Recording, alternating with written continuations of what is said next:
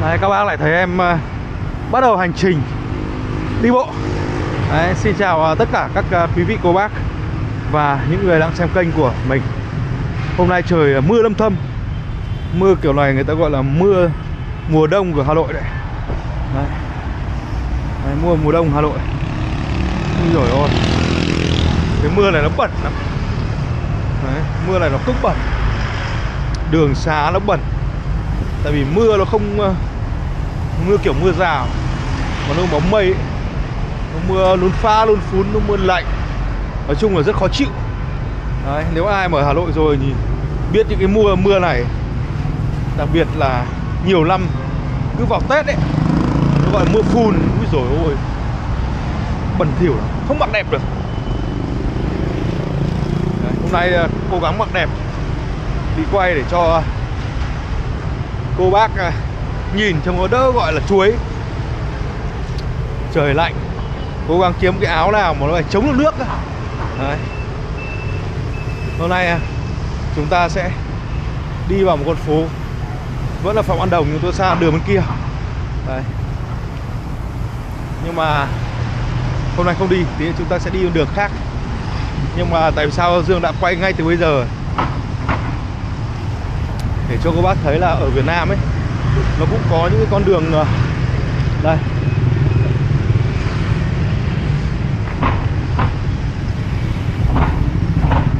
Con đường ờ, đi bộ. À, đường ngầm đi bộ đấy ở ngay ngã tư nhà mình thôi. Nhưng mà con đường này là con đường thiết kế lỗi. Tại sao thiết kế lỗi? Bắt đầu dương phân tích cho các bạn xem. Đây. Con đường này thiết kế lỗi không? Đây là nhẽ con đường này phải làm trên vỉa hè đúng không? Đây con đường này là nhẽ phải làm trên vỉa hè. Đấy, nhưng bây giờ lại có một con đường bên này. Có một con đường bên này. Đấy quý vị nhá? Cho nên là đối với dương đấy con đường này con đường thiết kế lỗi.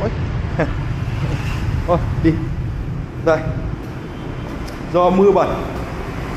Thế thành ra là quý vị thấy có bẩn.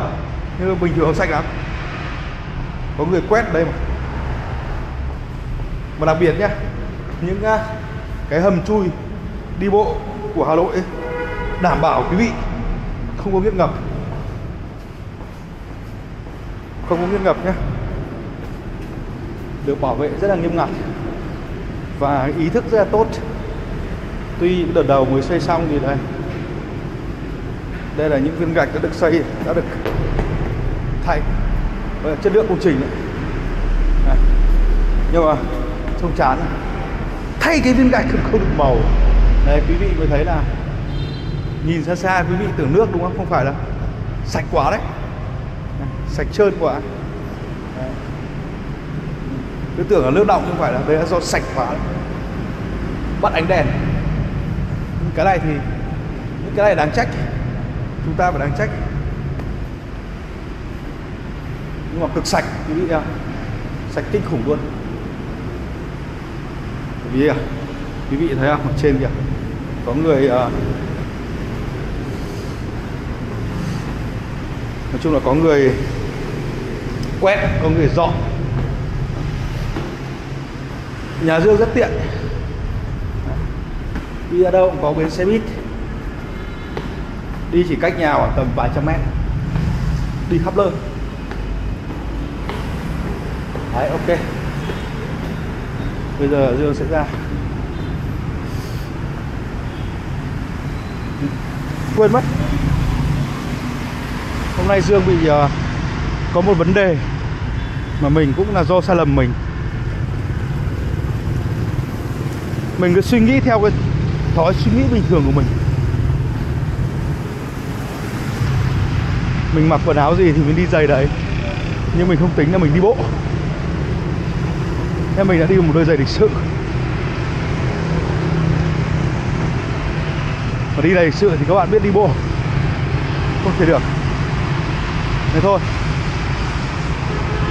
Dù được hay không gặp thì hôm nay kiểu gì phải đi 5 cây. Đi chậm được. Vẫn phải đi 5 cây.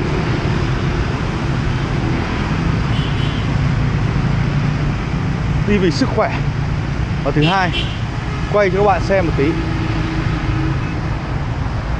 thì à, đến đây là phần mở đầu nhé quý vị xem tiếp. Các bạn nhìn thấy không? Đây là dòng mến thánh giá này. Đẹp không? Dòng mến này thánh giá hà nội. Đây là khu uh, bây giờ trở thành uh, công viên mọi người vào chơi thoải mái đây, với gốc cây nghìn năm tuổi luôn. Thấy chưa? Nó trải dài hết trên mặt này. Rất là đẹp. Đấy. và đặc biệt nữa đây này. Bên này. Dòng mến thanh giá Hà Nội. Rất to đẹp như quý vị. Nhiều người cứ bảo thế là ABC chứ. Đây là một công viên là đúng rồi. Tôi thấy hợp lý quá. Quá đẹp đúng không? Đây. Tất cả mọi thứ đây. Nhiều người không biết cứ đọc à, à, thì đây là một bí mật đấy. Không biết cứ à, qua bọn phản động nó năng nhăng đây thành công viên mọi người vào chơi thoải mái. Ở Việt Nam thì à, dù bất kỳ là ai thì phải tuân thủ luật pháp. Chứ bây giờ người ta làm công viên này chứ người ta làm cái gì đâu nhà nước lấy về làm công viên thì ông bà cứ là bắt đầu là tuyên truyền. Đây, bây giờ, cho quý vị xem, đây. Một bên là trường học Tràng An 29 nhà chung. đây, một bên bên kia thế. Bên kia có cả đồn công an. Nên thế nào nữa. Đây, đẹp như thế này. Người dân vào chơi thoải mái, đúng không? Không ai cấm đoán cái gì cả trở thành một công viên rất là đẹp. Đúng không? Đây. Đây, trường tiểu học Tràng An. Đúng không? Quý vị thấy không? Đây con đường ờ, nhà Trung. Đấy. Đi thôi. Đây. Tòa tổng giám mục này 40 phố nhà Trung Hoàn Kiếm. Đây đấy. Nhà cửa đầy đủ chứ ai làm gì đâu. Đây. Đúng không? Đấy. Cướp gì mà cướp? Con phố này thì bây giờ rất là đẹp. Quý vị biết con phố này thì rõ ràng thì là phố trung tâm rồi. Đây đây mới là đá nhá. Đây này. Đây mới gọi là đá. Ở những cái phố trung tâm này mới cả một vài khu phố quan trọng ở các quận. Thì nhà nước mới là lát đá 75 nhé. Đây là đá.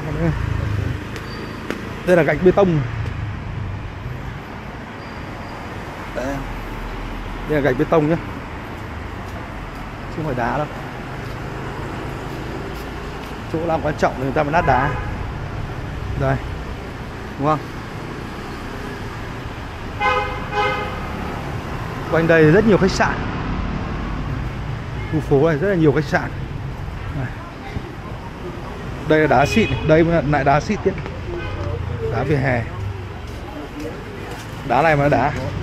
Ra đây lại đá. Có lơi thì là nó là cái gạch bê tông nhiều người cũng nghĩ là đá đá hết không phải đâu mình không biết là tại sao, thì cái đấy mình không dám nói. Nhưng nếu mà có cố tình để mà bị bợm thì đó là điều đáng trách. Đấy, vỉa hè hai bên này thì rõ ràng là khẳng định với quý vị, vỉa hè hai bên này thì 100% đá xịn. Đấy. ở đây thì khách du lịch nhiều. Quý vị thấy không? Rất nhiều khách du lịch. Sắp Noel này kìa. Đấy. Đây là nhà thờ lớn. Ừ nhà thờ lớn đây. Đang chuẩn bị cây thông Noel này.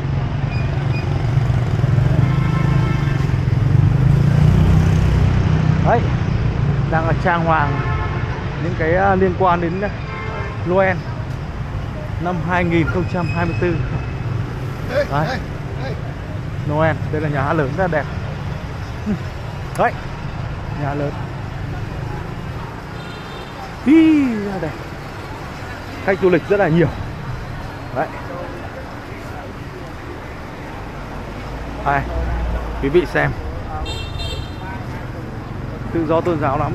Ở Việt Nam mình khẳng định quý vị cực kỳ tự do tôn giáo. Nó như bao nước khác thôi. Nếu mà anh chống lại chính quyền, anh làm lung tung thì chắc chắn là bị chính quyền người ta lên án là đúng không đấy. mọi người vào đây chơi vui vẻ. Thoải mái mà. Không ai nói gì luôn ừ. làm rất là đẹp luôn. Úi xời hoành tráng luôn. Đấy rất là hoành tráng. Ok.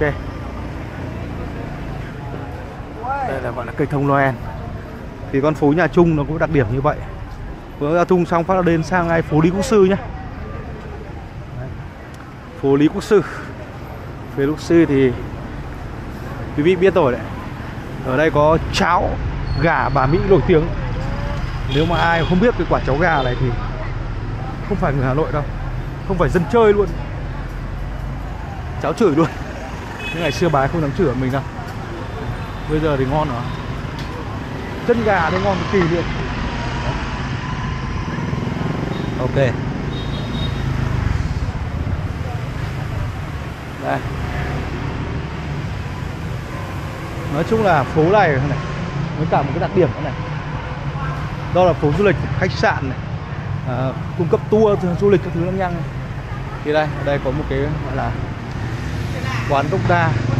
Hay là bánh mì Vân Mít 52 ở đây thì các bạn hãy nhớ là các loại bánh bánh gối ấy. ngon lắm. Nem lục ở đây là nổi tiếng đấy. Bao nhiêu đời từ thời mình còn trẻ mình sinh viên mình ở đây mình thấy nó bán. Đấy. đây đây. Đây là đại lễ phật đản đây rất là đẹp. Những cái ngôi nhà rất là đẹp. Hạnh phúc thay đức phật ra đời. Ở đây là chùa lý triều quốc sư. Di tích lịch sử văn hóa đã xếp hạng cấm vi phạm.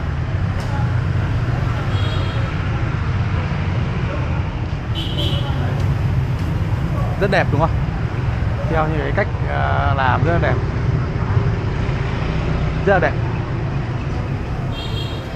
Ngõ huyện đặc biệt nhá. Số 2 ngõ huyện. Nguyện huyện đấy. Nguyệt cháo sườn rất là ngon. Ở trong này ờ, cuối gần cuối đường có thằng em. Nó kinh doanh khách sạn. Đây, đây gọi là ngõ huyện quý vị nha, ngõ huyện.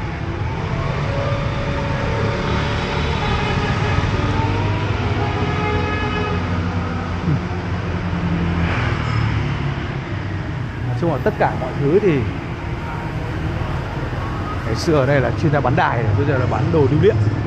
Gốm sứ bát tràng luôn. Đấy. Đây, quán giải khát, ba bà lâu ba ba rồi viết cái chữ cổ ngày xưa. này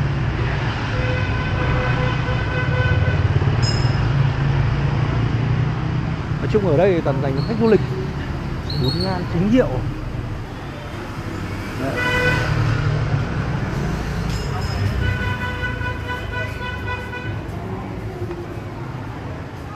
ở đây cũng có cả chùa chiếc đây. chùa. Đã đền. Đền phù. Lẩu ra quán có phở bò, bún bò huế này pip noodle bún chả. Abc hay phết. Cách bố trí hay. Cách bố trí rất là hay. Ở phố này, các bạn hãy nhớ nó có một cái quán. Cái loại booking cái thứ thì mình không nói gì. Nhưng là có một cái quán bò rất nổi tiếng. Ở đây có cơm phở này các bạn em đây là phở 10 lý quốc sư nhé. Thực ra thì đây này. Các bạn nào muốn ăn bánh mì này Nguyễn Sinh Hà Nội này mới nổi tiếng này. Ăn ngon lắm. Bánh mì ba tê thịt bò nguội các thứ tất cả mọi thứ. Quán này rất là nổi tiếng nhé. Đấy, có chữ restaurant ở trong kìa. Nếu quý vị vào tít ở trong quý vị hỏi xem như nào nhưng mà đi thẳng vào trong kìa. Restaurant kìa ăn về bánh về liên quan đến bò nhưng rất là ngon. Đây, liên quan đến bò rất là ngon. Và đây là quán phở 10 Lý Quốc Sư. Rất là đông. Quá đông luôn. Đấy. Đông như này. Đông mà. Quá đông. Ăn phải chờ này cơ. Đấy đây, quán phở 10 Lý Quốc Sư. Hợp tác xã mùa thu nhưng không phải ngày xưa đâu bên kia kìa. Nó không phải đây đâu. Người Hà Nội biết mà hương vị Hà Thành. Ngày xưa ở đây là phố chân cầm. Ở đây có cái gọi là bia hơi. Bia hơi chân cầm. Ngày xưa trước ngày bọn mình uống bia hơi đây. Trước ngày bia hơi đây. Nhớ nha ở chỗ đoạn kia Nguyễn Sinh Hà Nội quý vị nhớ nhé bạn nào nhớ phải nhớ luôn cho mình. Đừng bỏ rơi. Nếu ăn bánh mì nếu mà đi chui vào trong được thì tốt. Có từ restaurant đấy ok. Thôi, mình sẽ không bao giờ thưởng thức. Nói chung là khách tây thưởng thức nhiều. Và thưa các bạn thì đây có The No One Coffee Trung Nguyên đi gần này. Đấy họ mở Trung Nguyên nó mở. Kinh khủng. Giá trị nhỉ? Thôi ok. Mà chúng ta cũng sắp hết rồi nói thẳng là chúng ta cũng sắp hết uh, con phố Lý Quốc Sư rồi. Đấy thì ok đây là Dương. Dương sẽ tạm biệt các bạn nhé. Con phố Đức Sư chỉ có thế đấy. Cổ mua các đồ. Đấy. Ok.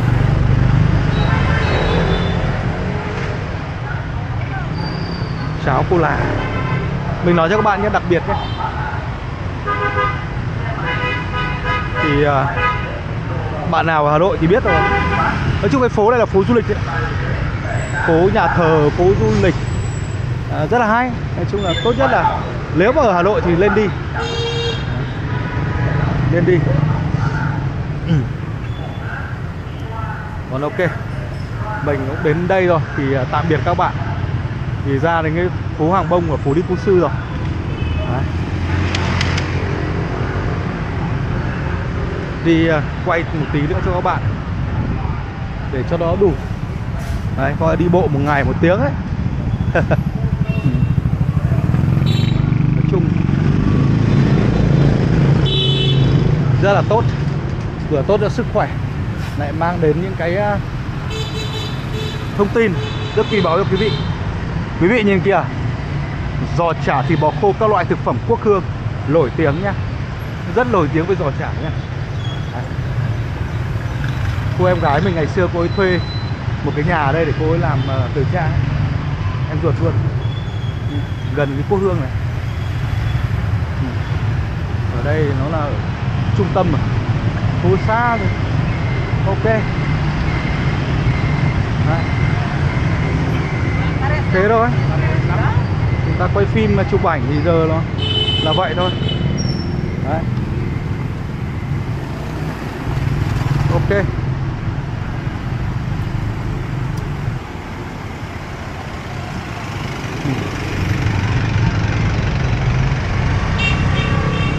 Ok, xin tạm biệt các bạn nhé. Bye bye.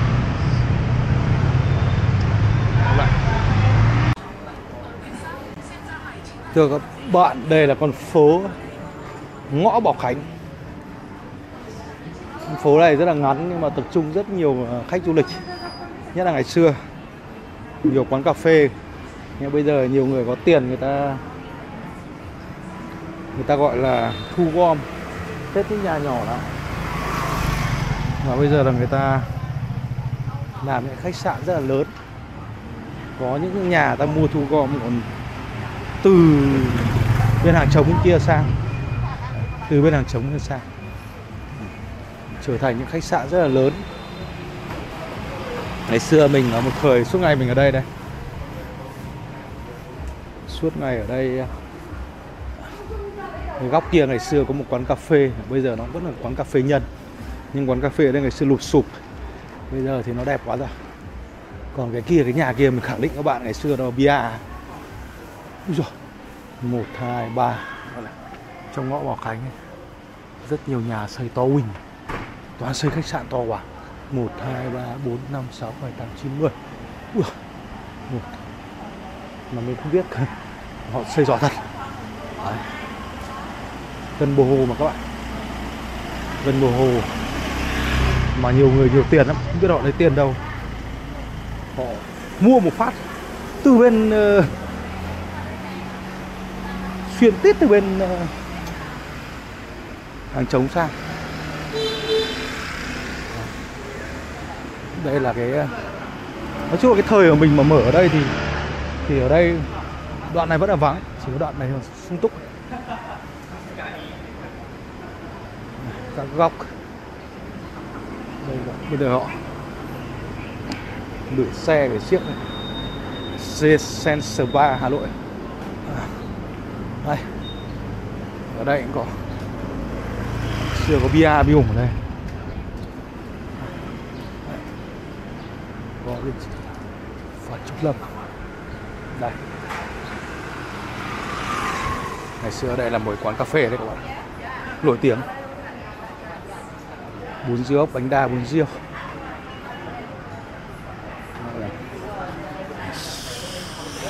súp vi cá nước phẩm quán xôi vẫn nổi tiếng vẫn đây. Đấy, thưa quý vị. Quán xôi nổi tiếng vẫn đây. Ở đây vẫn khách sạn. Bây giờ là San Hotel ngày xưa là quán cà phê đấy.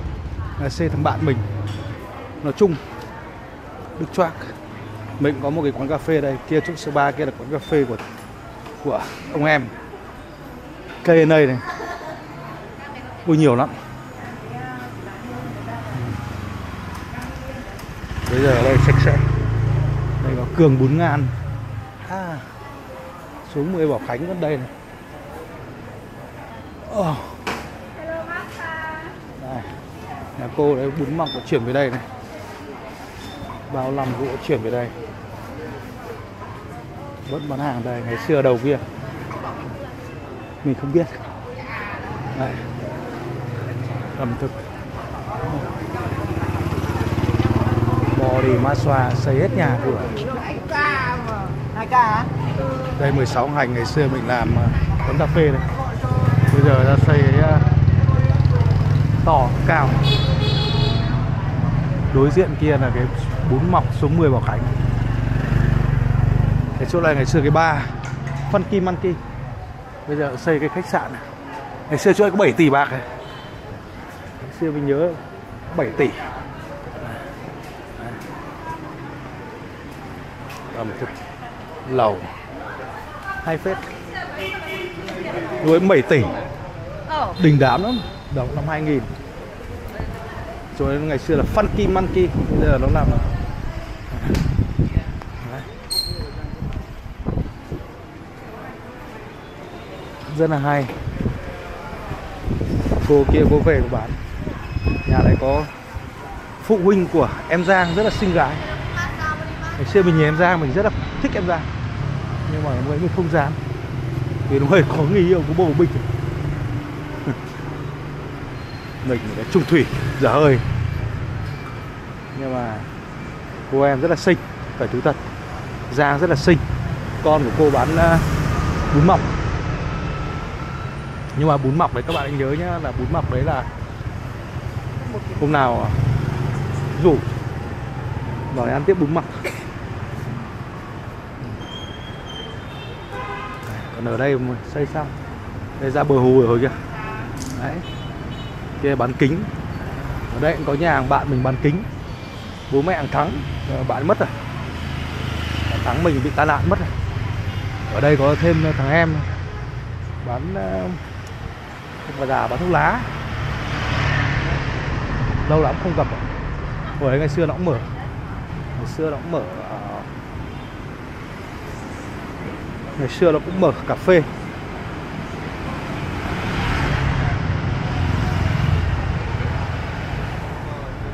Chán lắm. Ui rồi đi qua đây thì lại nhớ lại cảnh tượng một thời của mình. Đã từng. Thưa các bạn, đó là con phố một thời. Ở số 16 hành ngày xưa mình từng làm quán cà phê ở đó. Và giờ phút này đã trở thành một khách sạn rất là to. Mình tin chắc ở trong đấy vẫn còn có một cái đền của ông Đức. Ông Đức, ông vẫn ờ, làm lễ. Tại vì mình qua Facebook mình vẫn thấy. Thì ngày xưa, thưa các bạn, mình làm một quán cà phê ở 16 hành đấy. Và giờ phút này nó đã xây. Ngày xưa nó nhỏ lắm. Nhưng bây giờ là đã xây thành rộng to, kinh khủng rồi các bạn. Mình không nhận ra luôn. Và thưa các bạn, giờ phút này ta lại ra đến đến phố hàng gai rồi. Và chúng ta sẽ trở ra đến cái chỗ, một cái chỗ rất là nổi tiếng. Chắc chắn ai cũng biết rồi và chúng ta ra bờ hồ. Đây là đầu phố hàng đào nha quý vị nhé. Đây là hàng đào, đầu phố hàng đào. Đây rồi.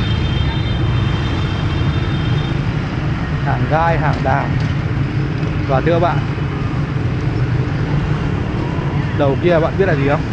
Vòi phun đấy, bờ hồ đấy.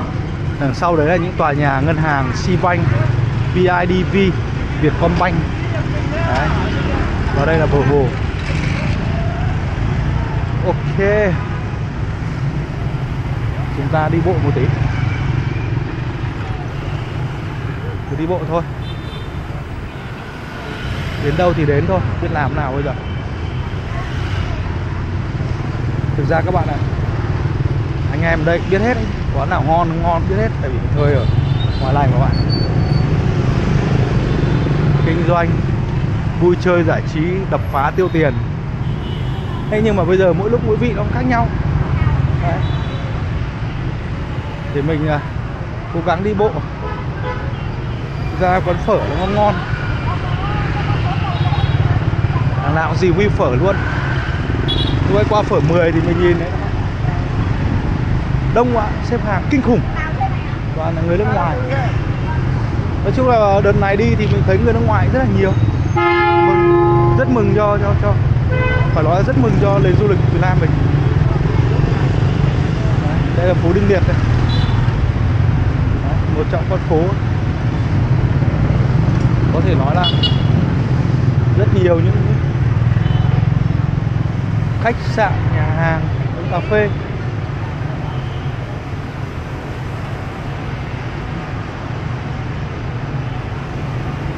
Bây giờ ta đi ra bờ hồ nhỉ?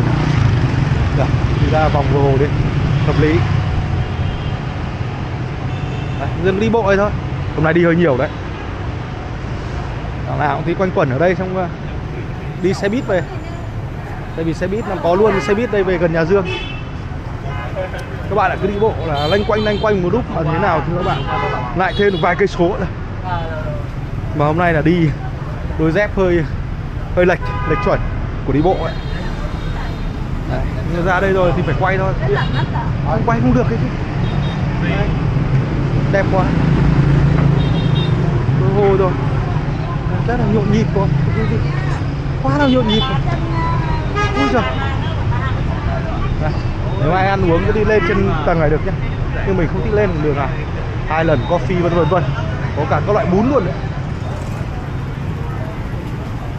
Đây. Rồi các bạn. Bồ hồ củ nhuế kia kìa các bạn đi uh, số 14 là có bồ hồ củ nhuế đấy. Đấy.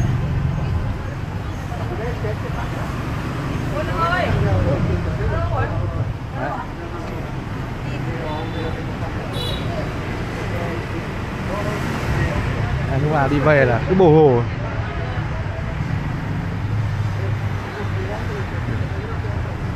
Nói chung là đây là cái nơi mà khách du lịch hay đến 100% đây là khách du lịch hay đến.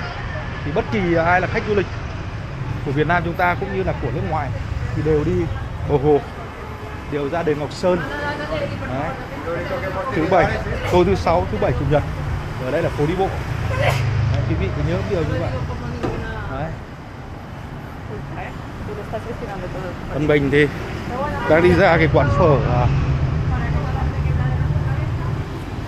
bờ hồ phở tin bờ hồ nếu mà còn bán thì mình sẽ sẽ ăn thôi. Còn không thì thôi mình sẽ ngồi nghỉ một lúc. Và tí là tính sau. Ok. Đấy, cứ đi thôi. Ta lại quay tiếp. Từ đây ra đấy cũng gần thôi cũng không xa lắm đâu. Đấy. nhưng mà thôi chắc chắn giờ phút này thì mình dừng lại. Ok. Hôm nay dừng đây thôi nhá. Giữ pin thì còn quay.